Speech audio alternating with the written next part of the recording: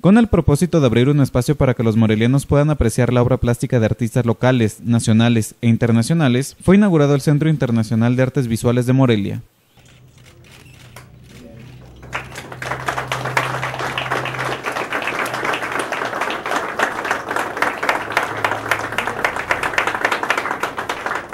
La ceremonia estuvo encabezada por el secretario de Cultura de Michoacán, Marco Antonio Aguilar Cortés, y el alcalde Wilfrido Lázaro Medina, quien destacó que en Morelia la cultura debe salir de los lugares cerrados a los espacios públicos para ser disfrutada por más personas. Nosotros lo que hemos querido es hacer lo necesario para salir de las cuatro paredes y más bien involucrarnos con la sociedad, que el gobierno esté en todas partes, a todas horas, todo el tiempo es para nosotros importante y el día de hoy este centro internacional nace después de, de mucho esfuerzo.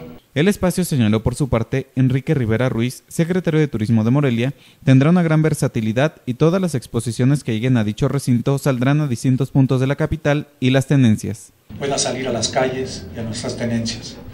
Por ello estamos empezando con esta eh, muestra, con estas exposiciones Veremos varias exposiciones el día de hoy.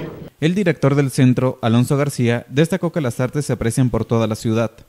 Siendo un vehículo para que la cultura pueda ser transmitida, esta arte llega a nosotros en algo tan simple pero a su vez tan complejo como es la fotografía, como es la artesanía, como es la expresión típica de algo que nosotros los extranjeros, aunque vivimos ya cinco años acá como familia mexicana, seguimos siendo extranjeros, algo que amamos de ustedes los mexicanos.